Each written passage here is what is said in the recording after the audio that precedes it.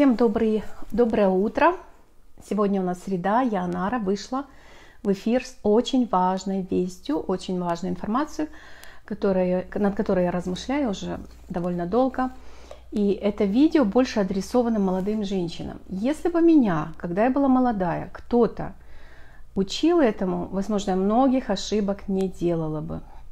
И наша тема сегодня – эмоциональные ямы, в которые попадает женщина, и почему женщина не входит в свое предназначение во многих сферах ее жизни. И мы сейчас будем рассматривать это в свете вот нашей современной реальности, э, что происходит с нашими семьями, почему столько много разводов.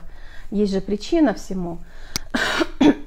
И поэтому, пожалуйста, слушайте, я вас очень прошу. Я редко прошу вот делиться этим каким-то видео – Потому что, ну, это на выбор. Кому нужно, тот найдет, как говорится, эту тему. Но эту тему я вас очень прошу, каждый, кто прослушает, пожалуйста, поделитесь прямо на вашей странице.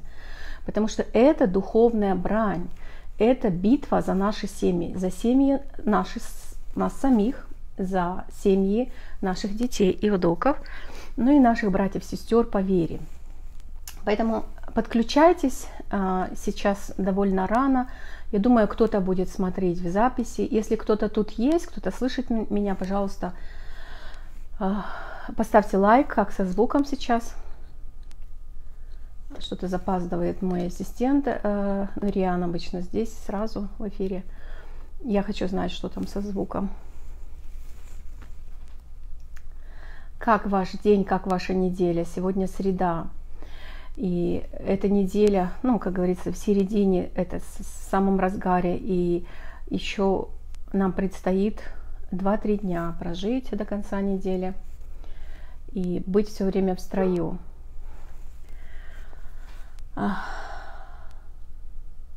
Мы хотим, мы хотим разобрать несколько, несколько вопросов, я хочу разобрать. И я хочу сейчас э, назвать две причины, как женщина оказывается в эмоциональной яме на долгие годы. Немножко коснемся этого. Но пойдем, конечно, к истокам. Вот. Э, две причины. Одна из, одна из причин – это неправильное убеждение о браке. Молодые жены э, – неправильное убеждение о том, вот, что она должна делать как жена. Just a minute. Что она должна делать как жена. И очень сильно идет прессинг сейчас из э, средств массовой информации и отовсюду, и да, э, что вот, мужчина должен ублажать женщину, мужчина должен ее любить, это понятно. Но сейчас, Рэйчел, можешь забрать собаку, пожалуйста? Женщину нужно ублажать. Извините, откуда это взято? А, каким образом ублажал Авраам а, Сару? Он даже взял, отдал ее, чтобы выжить, как говорится. Конечно, мы можем сказать, это время, культура того времени и так далее.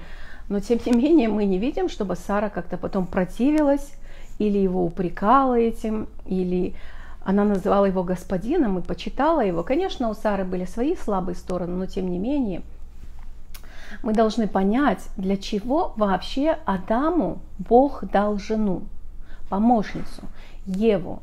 И он взял ее от него, часть, она часть его. И вы понимаете, вторая, вторая ложь, э, а, а, а, вторая ложь о браке э, это то, что отводит от главной идеи Творца. Понимаете, э, мужчине женщина дана как помощница – но здесь тоже столько граней и столько можно попасться на лжи. Но быть помощницей это не значит быть его прислугой. Это нечто большее. Прислугой быть легко. Просто вот тупо подавать ему еду, варить, кушать, обслуживать, это очень легко. Но в женщину вложена гораздо большая цель. И гораздо большая миссия вложена в женщину, в жену в частности. Почему? Потому что женщина – это как ключик для раскрытия способностей мужчин. И вот здесь самая главная опасность, потому что когда женщина неправильно понимает этот вопрос, она думает, что вот он мне он меня не любит, он меня не угождает, он меня не... Когда она начинает зацикливаться на себе, она закрывается и не исполняет свое предназначение в том плане, чтобы раскрыть потенциал мужчины. Но она дана для него как мотиватор, она дана для него как вдохновитель. Вы понимаете, в чем дело? Вот настолько обманул дьявол многих женщин и часто меня обманывал, что вот если бы твой муж любил, он бы вот это, он бы вот то. Извините меня, понимаете, чтобы он любил, я должна ему помочь, чтобы он вообще, что бы там ни было положительно, чтобы он делал, я являюсь тем, чтобы мотивировать его. Для этого меня Бог дал. А потом он же будет и любить, и все другое, и третье, четвертое. Если женщина не мотивирует мужчину, он будет жить в треугольнике, диван, телевизор, холодильник, и все. А когда-то мой муж так жил, а сейчас я его уговариваю отдохнуть. Я говорю, отдохни. Да не надо, не езжай, отдохни. Он говорит, слушай, если я сейчас не поеду, сделаю, потом не будет времени. Потому что я энергично мотивирую, ну то есть не я, а я черпаю эту силу у Бога, он зажигается от меня, и его мотивирует это. Я вам хочу привести один яркий пример. Вот смотрите, когда женщина обижается на мужа, что происходит? Вот смотрите, когда, например, не дай бог, кого-то парализовало, полтела, и вот человек лежит больной, у него половина тела э, парализована, и он же не перестает заботиться о половине. Э, он не говорит, что отсеките половину, мне не надо, это I don't care там насчет половины. Он будет заботиться, и он будет исполнять инструкции, делать все, чтобы вот эта половина заработала, какие-то принимать медикаменты, и э, этот человек будет э, гимнастику делать и так далее, понимаете, чтобы вторая половина парализованная заработала. Вот такой mindset должен быть у нас, что если муж что-то делает не так, как мне нравится или как я ожидаю, это не значит, что я могу его раз отключить и все. И сказать, что мне это не нужно. Это часть тебя. Это вы одно целое, мы не можем игнорировать. Плохо будет ему, плохо будет мне. Это очень тонкий, важный момент. Понимаете, когда Бог дал помощницу, смысл помощница не в том, что прислуга. Мужчины, услышьте, мужья, те, кто слушает меня, услышьте, если ты хочешь, чтобы твоя жена была просто вот, мне даже некоторые братья говорят, когда я пытаюсь что-то говорить, они говорят, это не для моей жены, моя жена вон на кухне, и дети, это ее. Дорогие, женщина должна развиваться, она, она должна много чего знать и уметь для тебя же, для мужа, чтобы вот эти все знания применить для семьи, для детей, для мужа. И больше для мужа даже, чем для детей. Понимаете, потому что если женщина будет только кухарка, то ты будешь только кочегар, и все. Она может раскрыть потенциал, который Бог в тебя заложил, жена. И женщина должна быть вот этим мотиватором. Вы понимаете, можно иметь хорошую машину, можно иметь Мерседес там с кучей-кучей сил и э, сколько там цилиндров и так далее, мощный Мерседес, но если его загнать в гараж, и он будет там стоять годами, какая толк, какой толк от этой машины, какая польза? Понимаете, он, эта машина будет гнить, внутри ржаветь. Вот то же самое происходит с мужчиной. А что является женщина? Женщина является вот этим ключом заводным для вот этого Мерседеса. Женщина, она мощный мотиватор. Бог в женщину заложил, жи, как сказать, она даятель жизни. Даже имя Ева, я вот изучала смысл, э, созванивалась насчет имени Ева, э, по-еврейски это Хава, и переводится жизнь. То есть женщина даятель жизни. И она намного сильнее в этом плане, чем мужчина потому что она дает жизнь. Вот представьте, вот, ну, для вас чудо, я думаю, для всех нас чудо, вот из себя выходит самый настоящий целый человек. И она должна дать жизнь и как внутри, так снаружи потом своему ребенку. То есть в нее заложен огромный потенциал. Она мощный мотиватор, женщина. Она дает жизнь. Это не только физически она дает, рождает ребенка. У нее огромный эмоциональный Э, багаж, чтобы дать, вот, мотивировать, всех мотивировать. И почему, вот, допустим, а, в этом плане она отличается от мужчины? Потому что у женщины есть гормон окситоцин. И а, когда она рожает ребенка, идет мощный выброс гормона окситоцина в ее кровь, И этот, у нее появляется такая нежность к ребенку и к мужу. И это дает ей огромную мотивацию. Вот этот гормон окситоцин, гормон привязанности, дает, развивает мне материнский инстинкт. Материнский инстинкт помогает ей быть хранительницей очага, делать все, чтобы э, семья состоялась, чтобы семья сохранилась ради детей, чтобы сохранить детей. Потому что дети должны вырасти, вырасти в здоровой гармоничной атмосфере. А чтобы дети росли в здоровой гармоничной атмосфере, нужно иметь с мужем гармоничные отношения с мужем, гармоничные отношения с Богом, которые приведут к гармоничным отношениям с мужем, и, и в этой обстановке вырастут здоровые дети. Если вы со мной, поставьте лайк, пожалуйста, чтобы я видела вас. Вот. И поэтому, понимаете, в чем а, и где тут уловил сатана? Он все делает, чтобы рассорить мужа и жену, чтобы жена начала, при, эм, перестала вкладывать в мужа, чтобы она закрылась эмоционально и сказала, да, I don't care, я буду жить для детей. Вот он такой секой эмоционально закрывается, потому что, потому что наша внутренность, наши эмоции, они так работают, что когда мне больно, я закроюсь, чтобы не чувствовать эту боль. И потом чувство атрофируется, поэтому уходит любовь. Потому что если мы во что-то перестаем вкладывать, это нам перестает быть дорого. Например, это касательно всего, там миссия, какой-то город, церковь, э, семья, друзья. Перестаем вкладывать, оно становится чуждым для нас. И сатана делает все, чтобы рассорить мужа и жену, чтобы жена перестала вкладывать в мужа, закрылась эмоционально, а мужик тогда заходит в тупик, понимаете? Он не будет развиваться без нее. Она ему нужна, как мотиватор, чтобы она его вдохновляла. А, вот, понимаете, он как, допустим, у него нет вот этого ни э, материнского инстинкта, его нужно постоянно мотивировать. Если он пошел сегодня, мамонта заколол, принес нас, сказал, вау, целый мамонт, да ты вообще там, понимаете, этому нужно учиться. Он завтра два мамонта принесет. А если, ха, если жена вот так вот будет к нему относиться, он скажет, а я пойду лягу на диван, ей все равно не угодишь. Э, примешь решение, она завтра запилит тебя, понимаешь? Да, нехай она сама там делает тихушку, как бы вот так вот. И происходит эмоционально. Развод как получается? Он же не за один день. Вначале эмоционально, духовно разделяются, эмоционально. А духовная причина – неправильное убеждение в голове, что если он меня любит, он мне должен дарить подарки. Мой муж вообще очень редко дарил мне подарки. Нам как-то не до этого было, мы всегда заняты. Но он мне дарил такие маленькие, малюсенькие подарки – и для меня это самое ценное.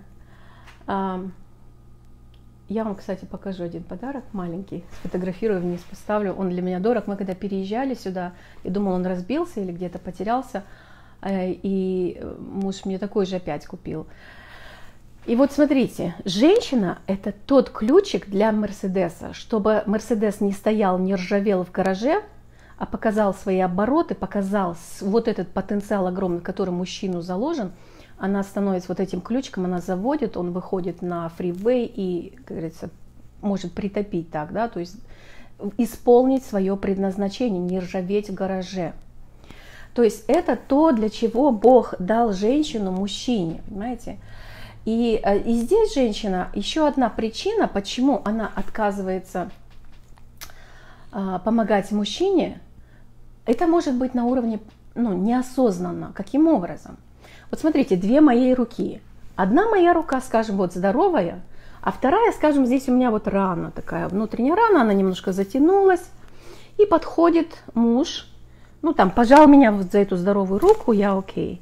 А если за больную руку, он меня пожал, так крепко сжал, я так, мне больно. И даже я вроде же затянулась, я не вижу ее, внешне рука как рука, но мне больно, я все, буду прятать эту руку в следующий раз, понимаете? Вот что происходит с женщиной, у женщин ей нужно разобраться, что у нее не так, где ее слабые места, эмоциональные ямы, в которые она попадает. Здоровая женщина, эмоционально здоровая, духовно здоровая женщина, телес, она будет строить здоровые отношения. Но когда я закрываюсь как, по какой-то причине от мужа, сейчас мы говорим о, об отношениях мужа и жены, но это бывает иногда от людей – то нужно проверить, что, что не так, почему, где мое слабое место, где меня цепляет, э, почему я закрываюсь. Потому что мы должны иметь такие свободные, гармоничные отношения, созидающие друг друга. И вот когда я реагирую на что-то, надо проверить, что не так, и разобраться. Это делает, это помогает Дух Святой Господь. И вот на конференциях я часто даю женам задание, э, чтобы вы взяли один день, взяли пост, промолились и спросили у Господа, Господь, где мои слабые стороны? Где я не исцелена, почему я не могу иметь здоровые отношения вот в этой сфере или вот в этой, почему я не могу войти в свое предназначение, в свое призвание. Знаете, вот в этот раз мы проводили конференцию, там была одна очень мощная тема, Кристина ее вела насчет того, что когда блудницу привели к Иисусу и держ... Э, вот с этими камнями, когда мужчины пришли, и когда он начал говорить, кто первый без греха, брось в нее камень. И вы знаете, вот так вот люди начали на землю бросать эти камни, мужчины, да. И смотрите, у нас у всех в жизни есть такой experience, опыт таких камней, когда в нас либо кидали, либо приготовляли камни. Но когда приходит в ситуацию Иисус, когда приходит Господь, вот эти камни просто падают. То есть то, что в вас кидали – вы должны избавиться от этого, не нести этот груз за спиной. И тогда эти камни падают. Да, возможно, я несовершенна вот в этой этой области, но Иисус меня принимает. Написано, при, э, когда, вы, прежде, когда вы были еще грешниками, Он возлюбил вас. Он уже посадил меня на небесах. То есть стоять твердо на обещаниях Божьих, стоять на Слове Божьем, знать свой статус во Христе – знать, кто я во Христе, что я искупленная, освященная, очищенная, прощенная, возлюбленная. Возлюбленная настолько, что Он отдал самое дорогое Бог. И Он настолько нас любит, понимаете? И вот это должно нас держать как якорь на плаву. Мы не должны опускать руки, мы должны знать свой статус во Христе. И что вот в Ефесянам первой, э, первой э, главе, это, это вообще книга Ефесян одна из моих очень любимых. Я молюсь и о том, чтобы Бог просветил очи сердца вашего, и вы увидели, что представляет собой та надежда, которой Он призвал, сколь велико богатство славы, которую получат наследство святые. И смотрите, и каково безмерно, безмерное величие Его силы в нас, верующих под действием Его безграничной силы. Этой же силой Бог произвел действие во Христе, когда воскресил Его из мертвых – то есть, другими словами, в нас есть сила, которой Бог воскресил Иисуса Христа из мертвых. Но мы просто не пользуемся этим. Понимаете, как, это как жить в каком-то месте, где была нефть, и человек был миллиардером, но он никогда не знал, он не пользовался этим. И у нас есть огромные ресурсы, но вот, вот это неправильное понимание – вот этот страх, который парализует, что, ой, а если я пойду вот это сделаю, кто ска что скажут люди, вот эти камни, которые мы получали. И нам нужно исцеление, дорогие сестры, нам нужно исцеление. Проверяйте, проверяйте, а, в, в, какой, в какой сфере у вас есть слабость. И э, проверяйте, пусть Дух Святой откроет, что именно что именно вас удерживает от, от того, чтобы вы строили здоровые отношения с мужем? Почему вам трудно прощать его?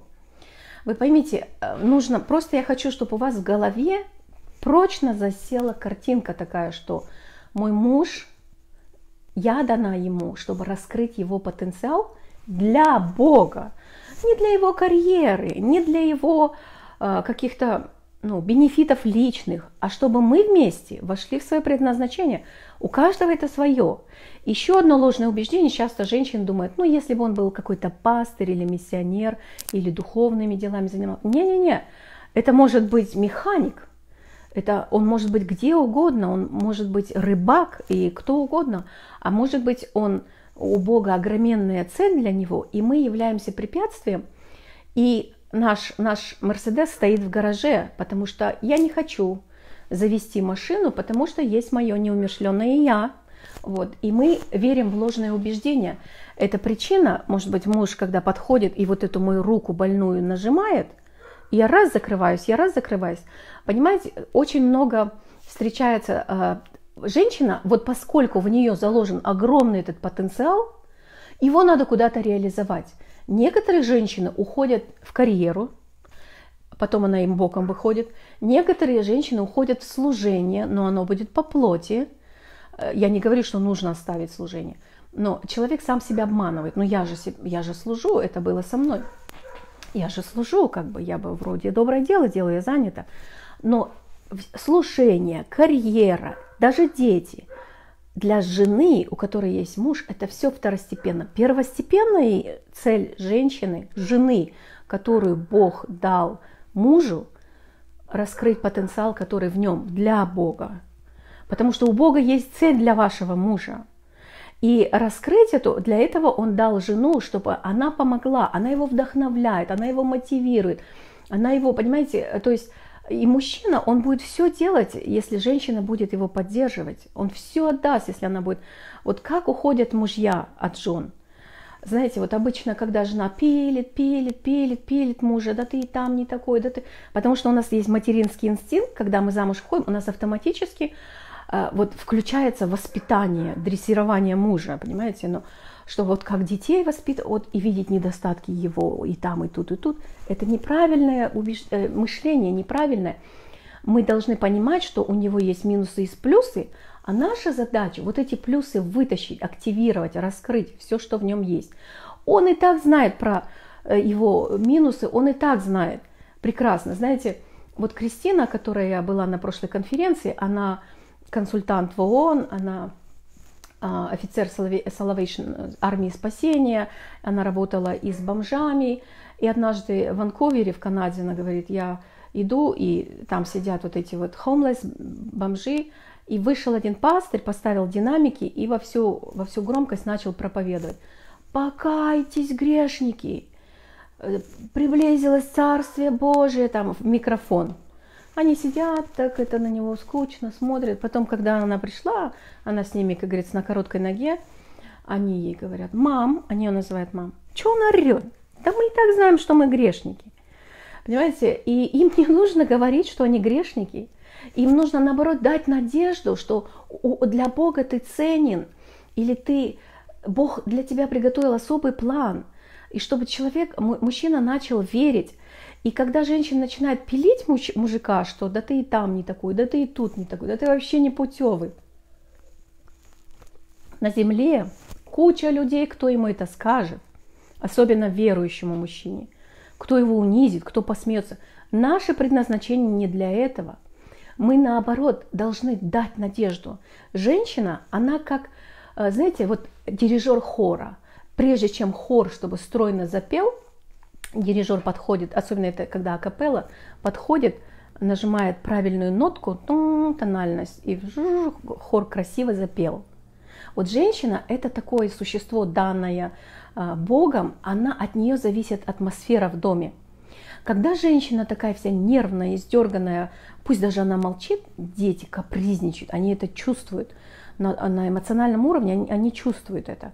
Но когда женщина заряженная Богом, от, э, укрепленная, вдохновленная Духом Святым, от нее исходит жизнь, от нее исходит позитив, энергия, она зажигает всех вокруг и прежде всего своего мужа.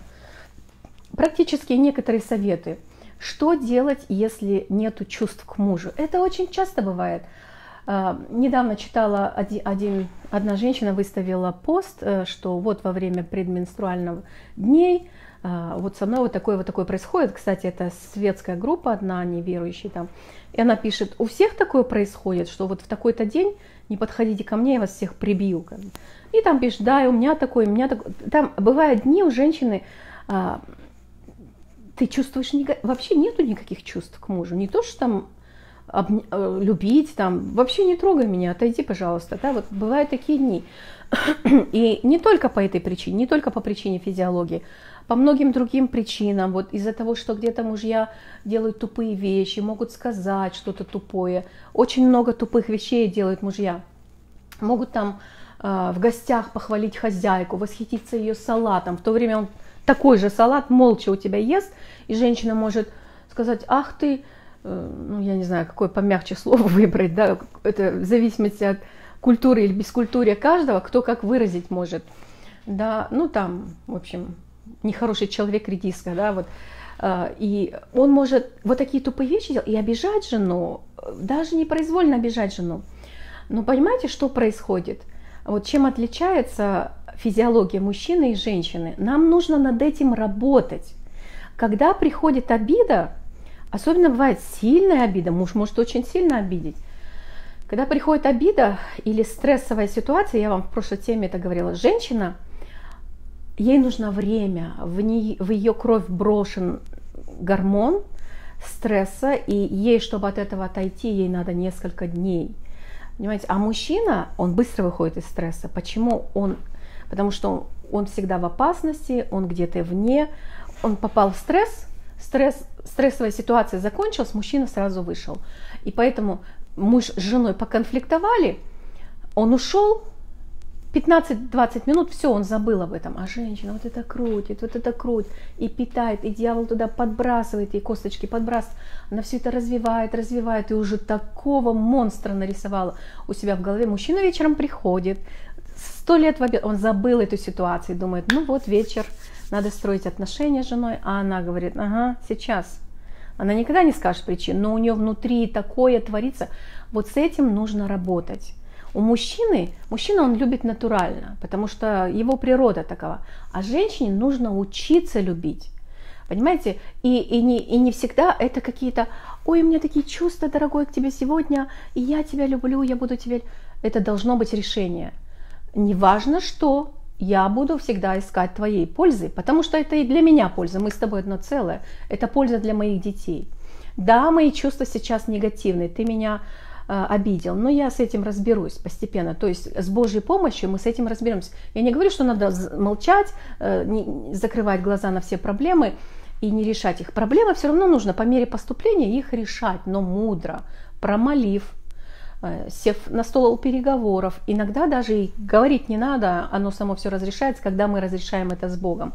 Но есть вещи, которые надо садиться, обговаривать в хорошей атмосфере. И каждая жена знает, каждая жена знает, когда ей что-то надо, она знает, на какие рычаги нажать, чтобы муж сделал, что ей надо. Понимаете? И поэтому нужно понять, как, как преподнести ему свою какую-то... Не старайтесь его исправить. Это бесполезно. Человека исправить невозможно. Человека меняет только Бог, Дух Святой. Это не наша задача его менять, какой бы он ни был. Наша задача его принять и поддерживать. И отдавать в руки Божьи, и отдавать в руки Божьи. Не бояться, что что-то со мной будет не так, понимаете? Не бояться этого, сестры. А, вы здесь со мной, если, а, если вам эта тема интересна, напишите, пожалуйста, поставьте внизу а, по этому Поставьте, пожалуйста, внизу комментарий или смайлик поставьте, если вам эта тема интересна и вы согласны. Вот. И когда нету чувств, что делать? Э, то сказать честно Господу, Господь, у меня нету сейчас чувств, но ты это изменишь. Я знаю, что ты это изменишь. Есть какая-то причина, почему нету чувств. Но, э, вы знаете, я старалась быть хорошей женой, потому что я теоретически понимала, что я должна быть такой, я слушалась мужа, я автоматически слушалась его, я не спорила почти с ним, я старалась сделать. Но знаете, все равно это не были у нас совершенные отношения, потому что э, я где-то обижалась на него, и в глубине души были какие-то неразвязанные узелки, и я все равно где-то эмоционально разви... не... закрывалась от него по поводу этого. Это важно очищать сердце от всех обид и показывать, чтобы Дух Святой просветил все уголки сердца и показал, что там не так, где какой неразвязанный момент есть, чтобы не было никакого крючка. А, тогда, понимаете, если сердце чистое, Господь изливает любовь Духом Святым сердца. И отношения гармоничные у мужа и жены должны быть в любви, когда у тебя связь с Богом, ты любишь, ты будешь врагов любить, тех, которые тебя хотят убить. Ты будешь жалеть их, о, бедные, сейчас меня убьете, вы же все в ад пойдете. Господь, дай им покаяние, смилуйся над ними, они же будут век в аду гореть. У нас вот такие чувства должны быть, как Христос умирал на кресте. А мы своих ближних порой не можем любить, понимаете? Потому что там есть какие-то крючки, неразрешенные, неразвязанные узелки, вот это все нужно промолить и просить, Господь, очисти, Господь, очисти. И здесь, понимаете, сатана – это мастер лжи. Он будет постоянно так красиво заворачивать и преподносить вам ложь о вашем муже. Ну как ты можешь вот такое простить? Да это же невозможно такое простить. Вот посмотри, помнишь что? Помнишь вот это? И что от этого спасает совместная молитва? Либо молитва с мужем, если муж не открыт молиться, молитесь с какой-то женщиной. Найдите себе, есть женщины, у которых, которые сами преодолели это, зрелые женщины, найдите, сейчас их а, можно найти, у Бога везде есть свои люди. Она будет с вами молиться и поддерживать. Когда придет муж, у тебя совсем другой настрой духа будет. Еще одну ошибку хочу сказать, неправильное убеждение, причину. А, когда, знаете, когда женщина закрывается эмоционально от мужчины из-за обид, когда закрывается эмоционально от мужа, а, то ее эмоции не работают в правильном направлении. Что происходит с эмоциями? Они атрофируются. Что происходит с мозгом, когда человек перестает развиваться, когда он перестает читать, интересоваться, ну, расти в какой-то сфере? Мозг деградирует, атрофируется. Почему важно читать все время, развиваться, узнавать что-то новое? Мы так устроены. То же самое с нашими телами, наше физическое тело. Если мы лежим, не двигаемся, не занимаемся, то оно атрофируется, мышцы дряблые, вялые становятся. То же самое в эмоциональном, в эмоциональной сфере, в сфере наших чувств. Они должны работать все, позитивные, негативные. Негативными нам нужно уметь управлять. Я об этом говорю в другом тренинге об эмоциях. Я это не буду затрагивать. Но если мы э, игнорируя, постоянно закрываемся, то потом они не работают. И еще другая крайность, сестры, пожалуйста, девочки, услышьте меня. Еще одна вещь женщины, а, какую большую, огроменную ошибку делают очень многие. Там внизу я ставила тему, куда девается любовь в браке. Она никуда не девается, Бог ее дал, она не девается никуда. Вот я вам покажу вот этот экземпл, я там пример такой, да, вот смотрите, вот любовь Бог дал. Она никуда не девается, она здесь, в браке, она здесь. Но знаете, что происходит? Что происходит? Мы ее заваливаем даже хорошими вещами. Воспитание детей, э, буду возить их на все кружки, вы, выращу из них. Я все вложу, это ж мои дети.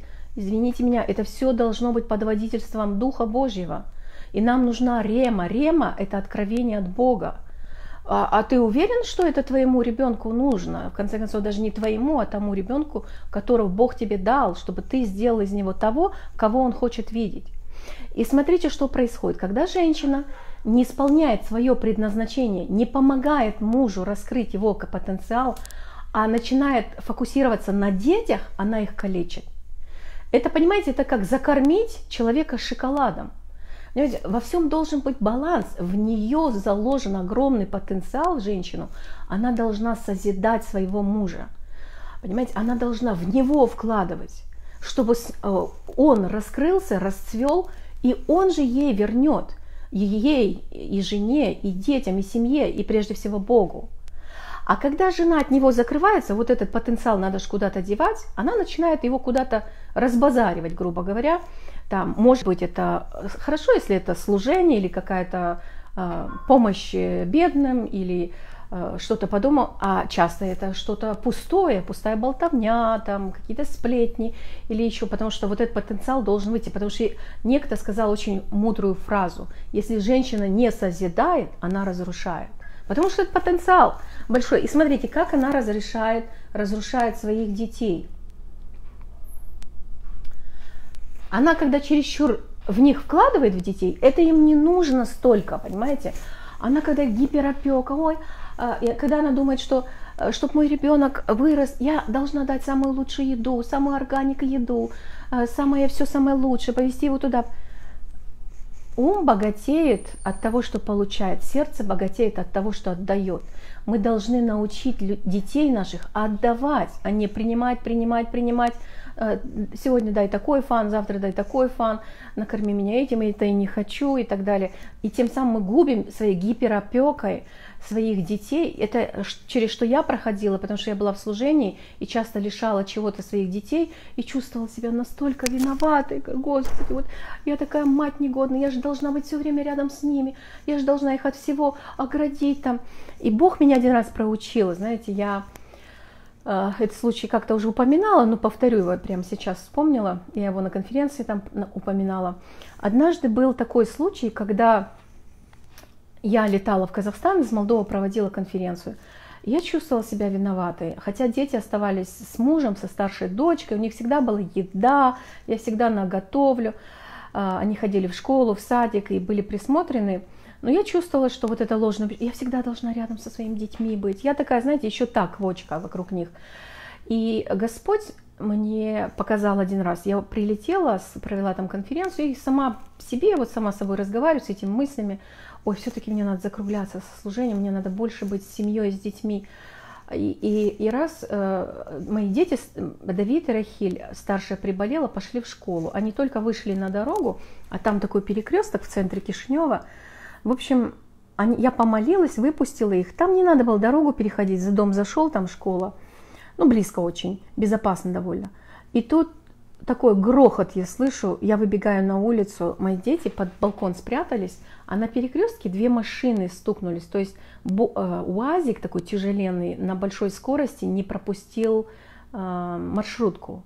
И маршрутка ударилась об дерево, потом полетела в другое дерево, и даже люди повылетали из маршрутки. Ну, в общем, это страшная авария была. А УАЗик полетел в сторону моих детей, ну там буквально, может быть, метров пять он до них не долетел, понимаете? И мне тогда Господь проговорил через эту ситуацию, он говорит, но ты же дома была, ты не была на миссии, ты не была на конференции, даже если бы ты была рядом с ними, могла бы ты их защитить? То есть э, у каждого свое предназначение, и он мне сказал, ты, ты должна быть там, где я тебя поставил а о твоих детях я позабочусь. И он заботился, и мои дети, много таких свидетельств мне потом рассказывали. Рахиль рассказывала, как она, когда мы много ездили на поездах, э, то, знаете, там вот такие две полки, и она говорит, мы перепрыгивали с верхних полок с одной на вторую. Мы им это запрещали делать, они в тихушку это делали. И говорит, один раз я перепрыгивала, и она не допрыгнула и полетела вниз.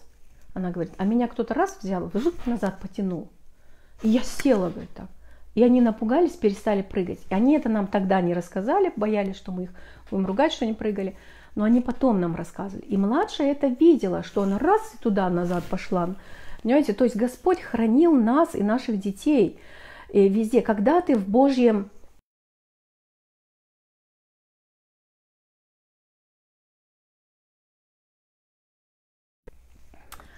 а, что-то тут с интернетом происходит. Вот, вы здесь со мной.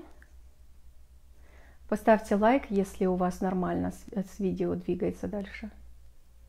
На этом я буду заканчивать, девочки. Я, на, это, на этих примерах я буду заканчивать. И я хочу сказать, что мы должны понять и не поддаваться. Я э, прочту вам Римлянам 15 глава в пожелание – 15 а, глава, мы должны понять, что мы находимся на войне, на духовной брани, и нам нужно все преодолевши устоять. И для этого нам нужна сила Духа Святого. Для этого нам нужна рема, то есть нам нужно всегда откровение, потому что всегда, если мы не подкрепляемся Словом Божьим, если мы не подкрепляемся истиной Божьей, то мы будем терпеть поражение. Римлянам 15 глава, я думаю, многие его сегодня читали, это стих, э, ну, стих verse of, э, ну, сегодняшнего дня. «Пусть же Бог, который дает терпение и ободрение, даст вам жить в согласии друг с другом, как и подобает последователям Христа и Иисуса». Это вот одно место. И второе, я сейчас вам прочту. Вот это второе место, оно должно быть как девиз у нас везде, понимаете? Что делает сатана? Он постоянно восьмой стих, не четвертый, восьмой стих. А, сатана постоянно лжет мужу о жене, жене о муже. Он или родителям о детях и так далее, потому что он мастер лжи. А, Филиппийцам 4 глава, 8 стих. Я молодым женщинам всегда говорю, распечатайте, повесьте везде. И, наконец, братья, размышляйте о том, что истинно, благородно, справедливо, чисто, что приятно и восхитительно, и о том, в чем есть добродетель, добрые дела, да, и о том, что достойно похвалы, пусть это занимает ваши мысли. Все начинается с мыслей, когда приходят негативные мысли к вам, что вот мой муж такой, он тогда неправильно сделал, и так неправильно сделал, и тут просто говорит, стоп, я пленяю свои мысли, я их беру в плен в послушание Христу. А, я должна его любить, я должна его прощать, я должна его созидать. Это то, от чего, чего ожидает от меня Господь, чтобы моя семья была крепкой, чтобы муж достиг а, того потенциала во Христе, который Бог в него заложил, и тем самым я достигла того же потенциала во Христе. Мужьям хочу пожелать, дайте возможность развиваться вашим женам, чтобы она не была, чтобы не понимали, что это помощница как кухарка. Ее предназначение гораздо выше. Она, если ты э, священник, если ты царь, господин дома, то она госпожа, то ее статус должен быть тоже соответственно ее дарам. Когда женщина служит своими дарами, она раскрывается, она тоже расцветает как цветок, и она созидает все вокруг. Поэтому пусть Господь благословит вас. Пожалуйста, жены, примите решение быть вот этим мотиватором, вдохновителем и тем, кто созидает своего мужа. Всего вам доброго, благословения вашим семьям. Пока. Поделитесь этой темой, пожалуйста.